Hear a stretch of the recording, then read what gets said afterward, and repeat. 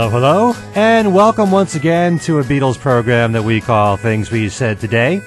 This is a Beatles news themed show. That's what we talk about here on the program what's going on in the world of the Beatles on a day by day basis or weekly basis. And I'm Ken Michaels, one of the co hosts of the show, known for my syndicated Beatles program called Every Little Thing, being joined by the man who's literally on the pulse of everything going on in the world of the Beatles. Oh my. second by second, as we speak. Oh my. He may have just gotten a major text just now as we're That's- as we're doing true. this show. That's true. But no, not not yet. Not not yet. Anyway, hi Ken. Steve. Hi, Steve. Steve Marinucci of Beatles Examiner. And um, we are going to do a show right now on the concert film called Rock Show. This is one of a series of shows that we're doing on Paul McCartney because uh, there's just a flood of activity going on with Paul concerning the Wings Over America remaster, and we're going to do a show on that, the box set that has just come out. Also, we're doing one right now on Rock Show. And, um, and what else? well, I, at some point we're both going to see the tour. That's true. Yes, there is a tour going on. There is a tour going on. There's so much going on, you could be blinded by that. I know, and and you know, and uh, it started out, uh, you know, with a lot of uh, uh, different songs, and it's kind of settled into a uh, where he's alternating two songs a night now, which will be interesting to see where that goes. But um, things are moving along for uh, Sir Paul, as they say. yes, I noticed how you did an article on how he suddenly added things we said today Mm-hmm. into his set list. He must be I- he must be listening to our show. That's what it is. He's cashing in on our on our uh, success with this program. there we go. He's catching the wave. That's that he is. That he is. He knows all about this show. Oh, he probably does. I doubt it, but anyway. So, Rock Show. We both got to see this film on the big screen. Me in Connecticut, you in California. And so, what we would, what I thought we'd do is just uh, talk about this concert film and how we think about it all these years later. Didn't actually turn up in movie theaters until 1980, believe it or not. Four years after the tour Right. which is stunning when you think about it. I mean, there there'd be so much less interest at that point. I mean, it's still Paul McCartney, but still, four years after, you should kind of um, draw on the momentum or try to do something within a year, or say, of when the tour ended. But it was 1980 when it was shown in theaters. So, um, Steve, what were your thoughts as you were watching this? Well, and by I- the way, did you see this film when it first was shown in theaters? You know, I can't remember if I did or not. It's been, I mean, it's been so darn long. Um, I'm sure I've seen clips of it over the years. I can't remember if I if I saw it in theaters. I know I've had a I've had a VHS copy for years. And Uh-huh. years. I mean, who doesn't? But Right. um, I don't I, I don't remember if I saw it when it first came out. Um, you know, and it was that was one of the reasons to go see it was because I hadn't seen it in so long, and I was remarkably I was quite impressed. I mean, you know, I had watched the um, the Wings documentary that comes in the deluxe set that you can also get in the um, The, uh, the deluxe edition, the box the set. deluxe edition. You can Yeah. only get it there, and and You're talking about wings over. You're talking about wings over the world. Right. And I, you know, I, I liked that, but after you know watching uh, some of that and all the interruptions with all the press conferences and everything, you kind of go. Especially now, I think you want to see the whole show, and I think Rock Show is better for that now. You know that you can that it's just the whole show and nothing but. There's Right. you know there's no there's no interruptions. The music is great, and and even somebody, I mean, even people who you know, kind of um, hesitate about Paul, you know, have to really like what you see there because it's just it, there. The band is just so good. There's so many, and we'll talk more about this obviously, but you know, the band is just really puts on a great performance, Yeah. a really good performance. Um, what did you think? Oh God, I got so many things to say about it, but um, I think it really showcases Wings as as a band, hmm as we discussed before, a great live band and very tight, you know. And I couldn't believe, you know, because this is this was really the first time in a long time since I've I've watched it. I have it on video cassette, but truthfully, I haven't watched Rock Show for quite a while. Wings Over America as a as, as an album and a CD, that's my favorite live album of all time, and I've probably played that more than any other live album. Mm-hmm. But as far as visually, I haven't really watched Rock Show for a long time, and I did see it in 1980 on the big screen. So you know, there's nothing like seeing anything on the big screen. But what really struck me was um, just what a great tight unit they were. How Paul's vocals were just so amazing.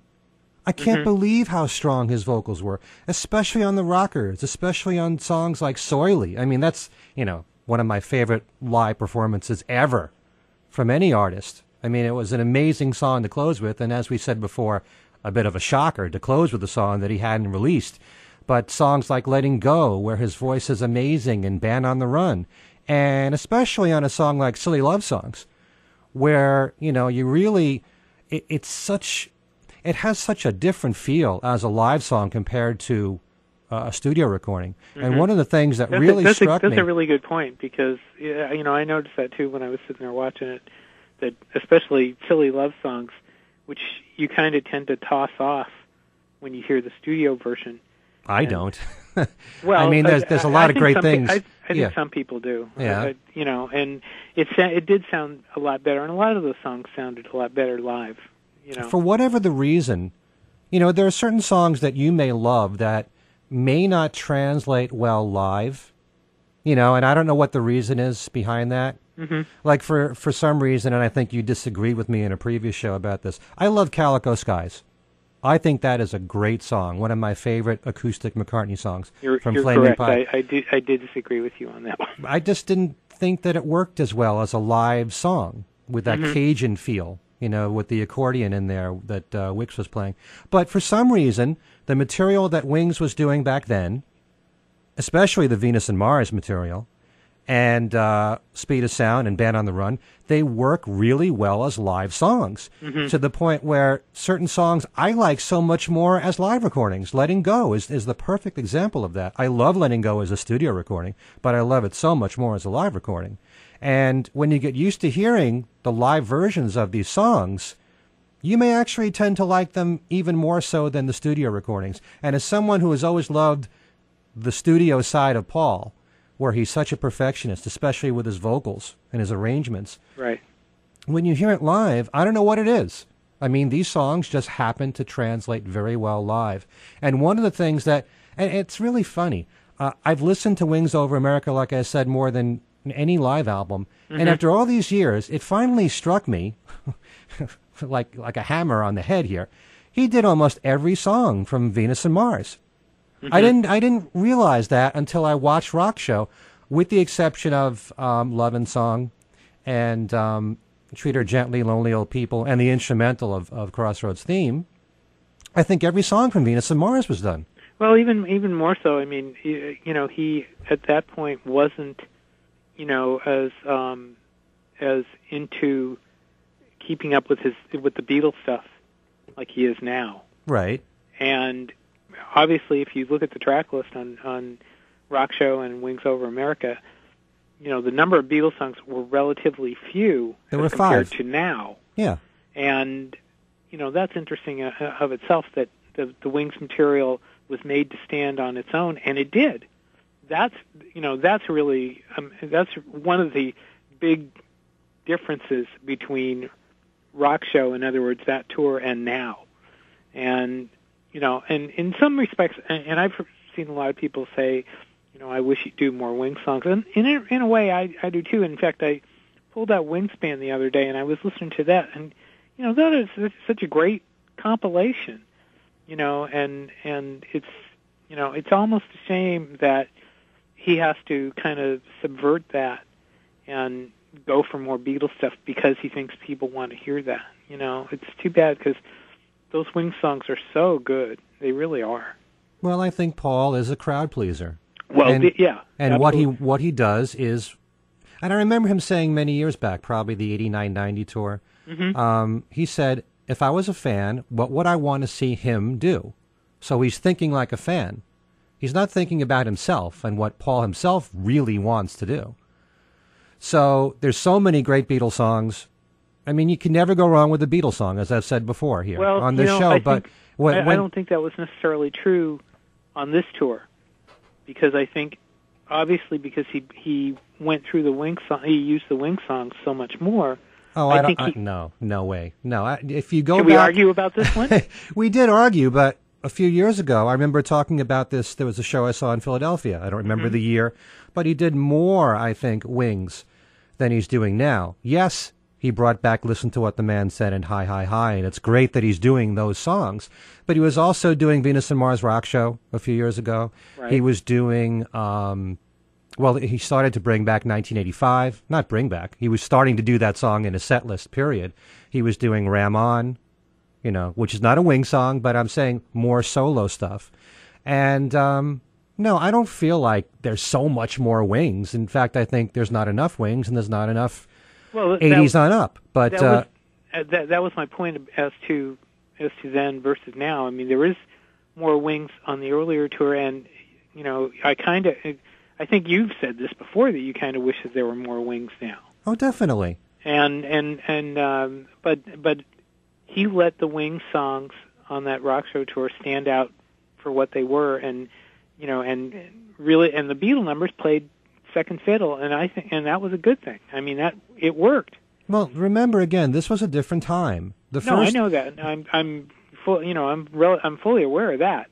You know, and I th- also think it showed up in his performance because I think that he you could hear the the comfortable feeling in his voice with the solo numbers than with the Beatle numbers. Well, you know something? I was thinking about those very same comments that you made a few shows back. Mm-hmm. And as much as I will agree that he's very comfortable, he was very comfortable with the new material that he was doing then with Wings, I totally disagree with you that he was less spirited on the Beatles songs because you watch Rock Show and Paul at the piano doing Lady Madonna.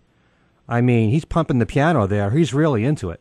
Oh no, I, that's definitely true. In fact, it's even and it's even more true on the Cow Palace show because I was listening to that yesterday, and I was and and he's very animated on that Cow Palace show, incredibly. Right. In fact, I thought it was actually more animated there than it was on Wings uh, Over America, and um, but yeah, I mean, I you know, I mean, I, I'm I just but I just think overall though the his he he was more in his comfort zone doing the Wing songs at that particular time. And I mean, with everything going on, you know, I, I he you know, Beatle numbers were not his priority. I don't think at that Right. point. You have to remember that that first five, six years of the solo careers of the Beatles, all four of them were concerned about establishing themselves and having successful solo careers, and that was Right. more important than playing Beatle numbers. Right. Didn't mean they didn't love what they did in the Beatles, but they had to go and do their own material. And that's why at that point in time, it was important to Paul to do this. And he was able to do it because, fortunately, at the time, radio played him and the other solo Beatles. Right. That's how it was. Top 40 radio played him, album rock stations played him, and they played album cuts too. And the songs that are in the set list from, from Wings Over America and Rock Show, those songs were played on the radio. Like I said before, Time to Hide was played on rock stations. Medicine Jar was played on rock stations. Beware My Love was played on rock stations. Magneto and Titanium Man was played. I remember those. I remember them like it was yesterday. Here in New York, stations like WPLJ used to play those songs on a regular basis, on a steady diet. It wasn't just the singles. So for that reason, Paul was able to play all these other songs, and he was able to showcase Denny Laine on five songs, singing lead, and he had Jimmy McCulloch sing on Medicine Jar Right. for one song. And, um, you know, it was more, you watch this now and you realize how much more of a band they were for that reason. I mean, there's all kinds of contributions that musicians can make in a band. It's not just a matter of how many lead vocals each member has. There's also uh, the songwriting. You know, Denny Laine was writing a little bit. Jimmy McCulloch was writing a little bit. He did let Joe English sing a lead vocal on Wings at the Speed of Sound, even though it was a Paul song anyway. You know, and Linda got to sing Cook of the House, even though that was a Paul song anyway. But there was more input from the band members. And when you watch this band, you realize what a great band they were. I hadn't seen this in quite a while, and Joe English was a madman on yeah, he the really drums. was. He, he really was. But you know, one thing you mentioned about Linda, she was so, her, you know, she was very confident. If you Yeah. noticed, and very relaxed. And uh, uh, uh, you know, I, I remember when I saw her in '89. I didn't catch that. It, it seemed like she was a little more nervous, but uh, um, but not certainly not in uh, you know in rock show at all. She was very very comfortable and very relaxed, and it was and it was great that you know that she had such a great. I mean, her introduction to uh, you know um, to Live and Let Die on the um, Cow Palace show was you know was a good uh, good uh, notice of that. There was you know there's a lot of uh, there's a lot of good things going on there. No question about it. Um, it's a very strong, very strong film. What did you think of, of versus? I mean- I've written up that I thought Rock Show is better than Wings Over the World. What did you think? Uh, they're two different things. And actually, when I watched Wings Over the World, I actually mm. didn't watch it till after Rock Show. Not that that even matters. Mm-hmm. But to me, I thought they were pretty similar because what struck me, and I hadn't seen Wings Over the World for a long time, the songs, most of the songs on Wings Over the World are complete. Mm-hmm. And that really surprised me. So it came across a lot like Rock Show with Right. some interruptions in between. I didn't feel like this was some comprehensive documentary of the tour. It didn't come across that way to me. There was some, you know, interesting bits in the middle. You know, Paul celebrating his birthday, and um, Jimmy McCulloch had a birthday there that they celebrated. Right. And there's also media coverage of the tour. Yep. And you know, Paul watching the TV and hearing, you know, what what uh, reports were saying about the tour. That stuff was interesting, but I- I, didn't know- feel like it was, you know, over your head documentary kind of thing. Right, and I was, you know, I was thinking that maybe, although I think the completists would have a, another would not like the idea, but I thought that maybe if they had clipped all those backstage, you know, of clips from that TV special and threw them in as an extra disc with Rock Show, it would have been nicer than packaging it separately and putting in the, in the deluxe version because I think a lot of people would have liked to have seen all that stuff. And the only people that are going to see it are the people who get you know who get the deluxe box Right. not- so i think that would have been that would have been a good idea even if i mean they could have done it anyway and and there are some deluxe things in the in rock show which we had neither of us have seen yet because we don't have the screeners but I think that would have been a, a really great idea to do that, and, and apparently they have, according to what we've been hearing, they haven't done that. So Yeah. Well, we'll save all of our comments for the for the box set in our next show. true. But the other things that struck me about watching Rock Show, first of all, well, I didn't really need to watch this to know this, how much I missed having a horn section, a real horn section with real players. As much as I love Wix, there's nothing like having the real instruments. And on synthesizers these days, you can duplicate just about every sound, but horn sounds still haven't been mastered to the point where it really sounds like the real thing. hmm It still has a phony, you know, sometimes a tinny kind of sound. Right. And I hear that going back to the, the 89 90 tour. anyway, I'm really glad that he finally. I, this is one thing that you know people have been screaming for for a long time, and I'm glad he finally gave in to the to the demand and finally put it out. Now, if we can only get them to do "Let It Be," darn it. oh well. Well, you know, during this tour, the Wings Over America tour, I didn't miss Let It Be. No, I'm sure nobody. I don't think anybody did really at that point at that stage. You know, a, as a, um, I would have been uh, 16, 17 seeing this show. I was there to see Wings. I wasn't there to hear Beatles. Now that's interesting because if it had been me, let's see, I would have been 25, and I would have been there to see a Beatle. That's would have been my that would have been my perspective. So Okay. Well, we're very different, and that's good. We I are. like the contrast. we are, yeah. Okay. No, I mean, there's no, there's no. In fact, I mean, and it's it's funny actually that I can appreciate the band on its own in this movie rather than look at the Beatles stuff. Actually, the the Beatles stuff almost is kind of a interference for me because the the group stuff is so good, and that's one of the reasons why I think you know Paul's performances on the on the solo numbers are are much better than on the Beatle numbers. That's you know because I think he like like I, um, as I said, I think he's more comfortable with those numbers here than the Beatle numbers. So, anyway, Mm, I just think it was a different time. oh, I you know, agree. and he Definitely- was he was really into. He knew that he was at the top at this moment. This was his shining moment. Not that he didn't have all this other success leading up to it, but here he was, this tremendous build-up the last few years from '73 through '76, especially. He had number one hits. He had a lot under his belt. He could command an audience. He could play whatever he wanted to.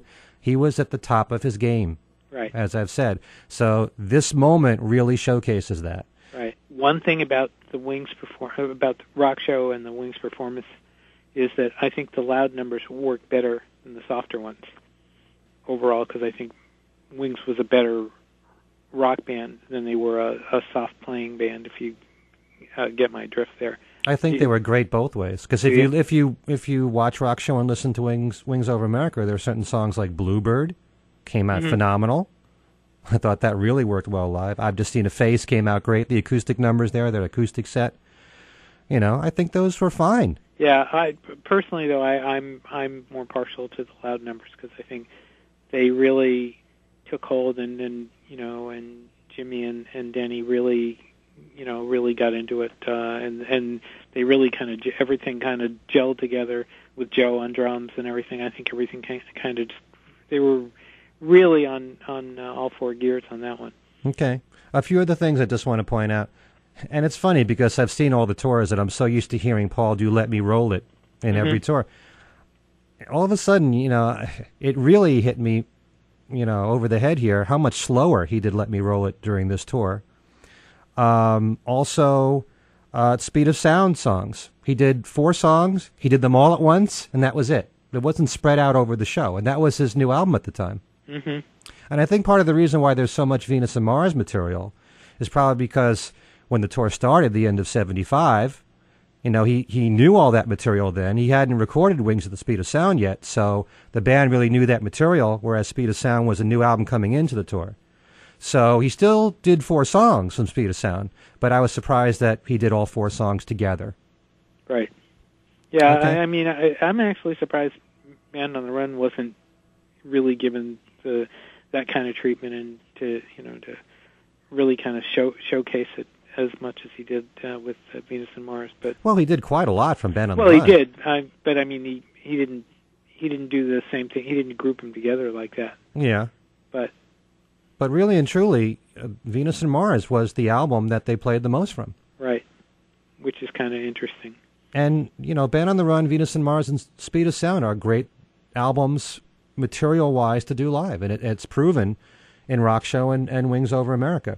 Also, um, I just wanted to comment about the picture quality because for me, there were some low moments. There's a lot of graininess. yeah, you must have seen the same print I did. Um, and yeah, and I'm hoping that's not the case with the uh, DVD, especially the Blu-ray.